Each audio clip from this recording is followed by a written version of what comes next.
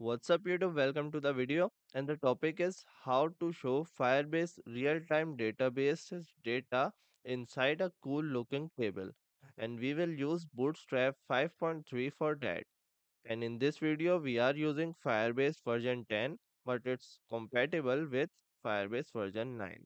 So let us begin. So here we have a list of employees and inside it there are employees saved by their CNIC number and the rest of their information. So we want to show this information on the table. So let us first search for Bootstrap 5.3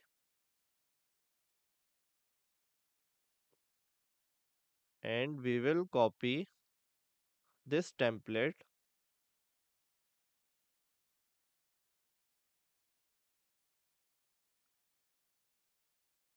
and remove all of the unnecessary stuff.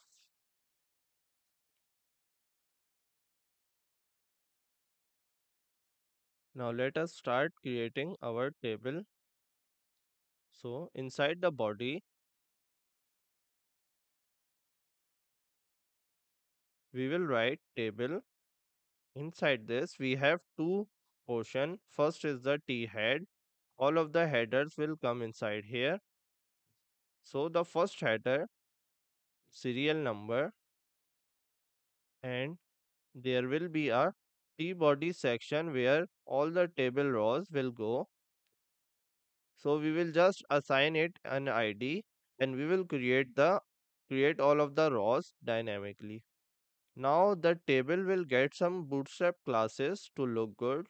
The first is just table and table dark, table strip.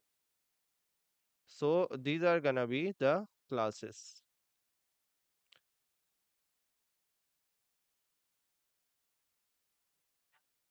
So you can see that the table is occupying the entire page. So we don't want that. So for this, we will wrap the table inside a div with the class container.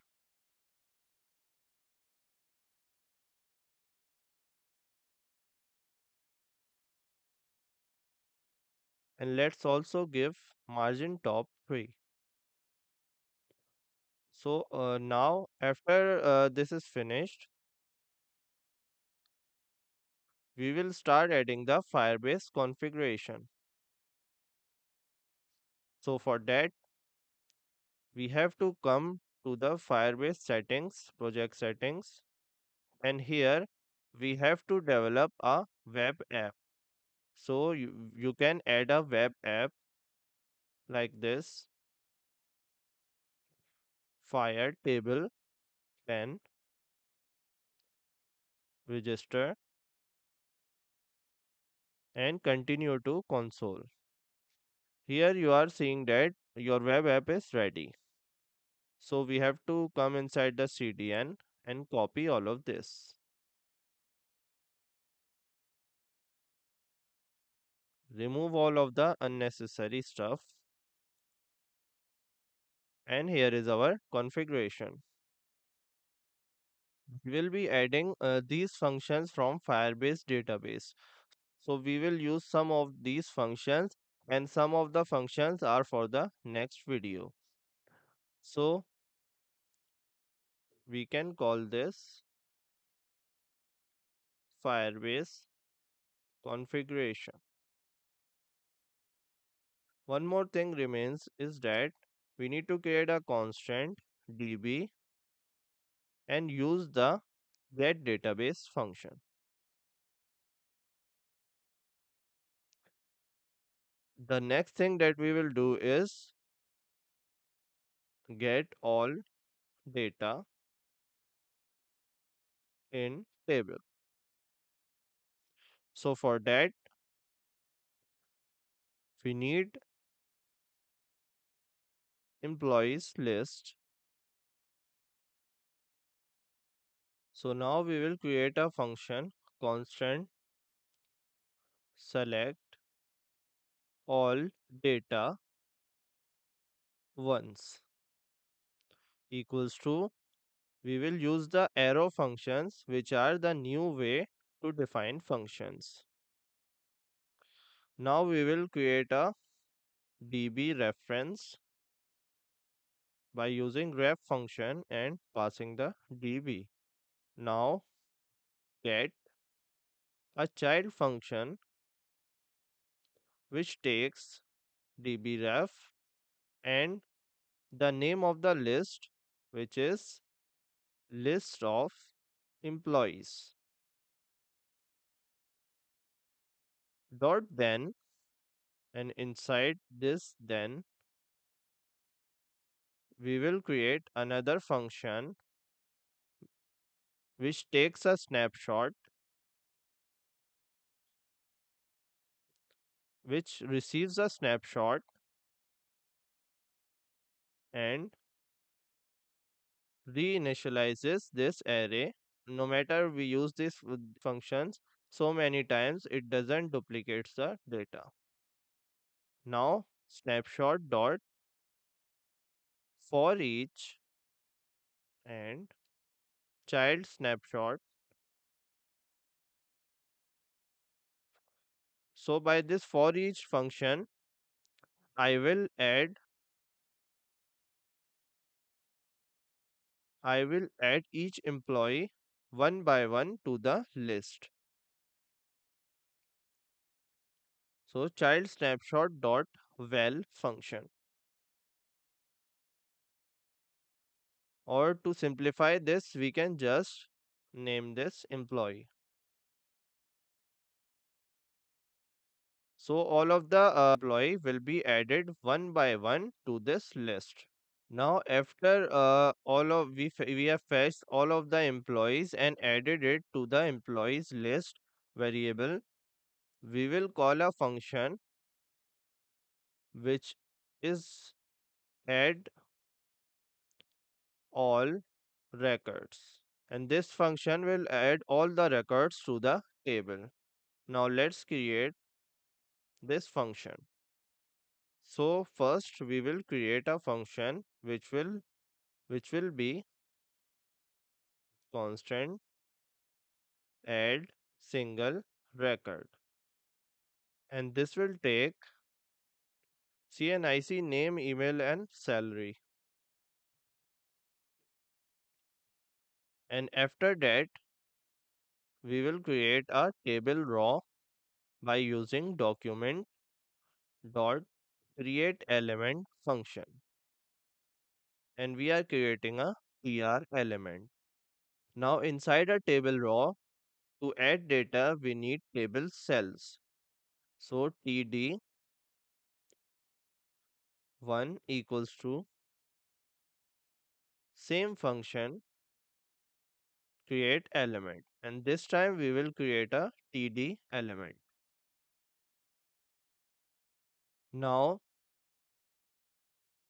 in the first td what we will gonna do is inside its inner html we will add the serial number but we don't have a serial number over here. So we will create a new variable s number which will be equals to 0 so we will add this to here Now after all the table cells are filled, we will take the table raw and use the append function to add all of the table cells to this table raw.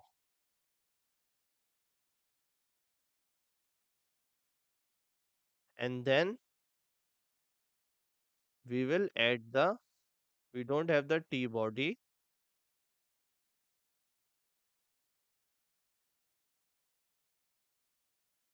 So we will get the T body 1 from the ID. Now T body dot append and we will add the entire table raw to the table body. So we are adding the entire, we are creating the entire row then adding it here in the table body. So this is a function to add a single record. Now we need another function to add all of the records. So constant add all records. This will keep our code clean. So an arrow function and we have s number we will uh, make s number equals to 0 and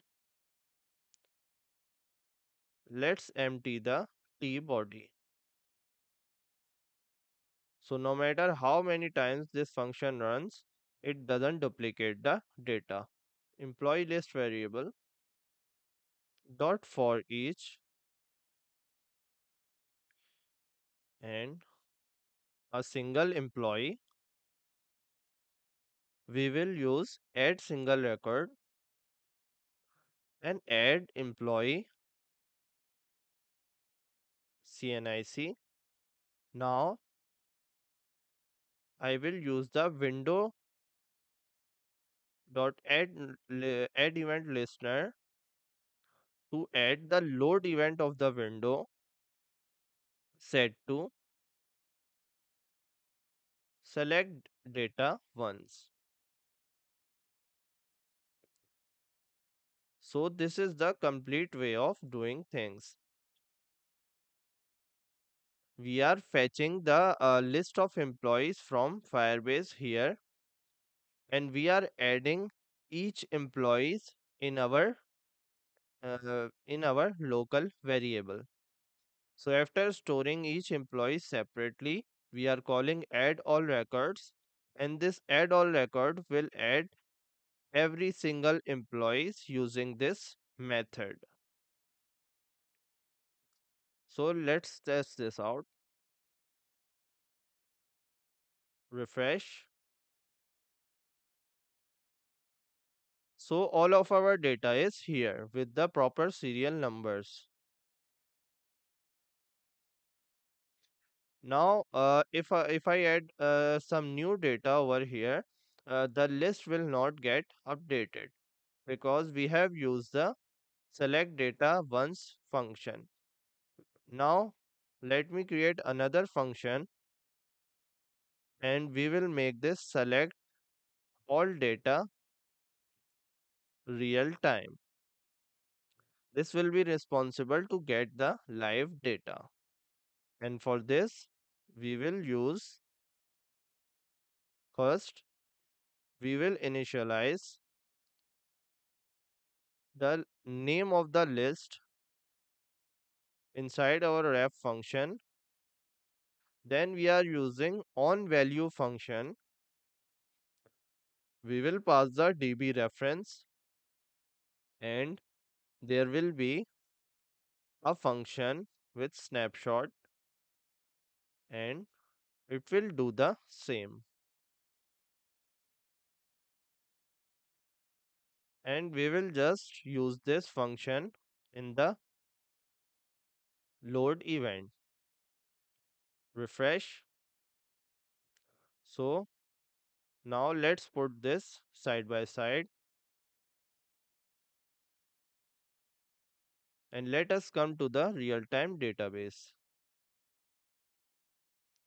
So I will add a new employee.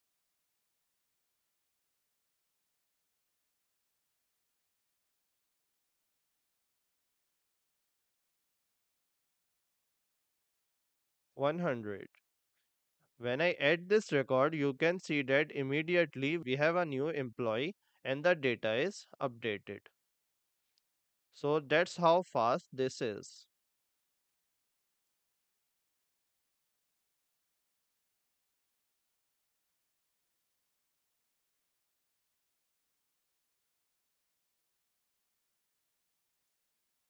So this is all for the video. If you like it, uh, give it a thumbs up and do subscribe to the channel. See you next time.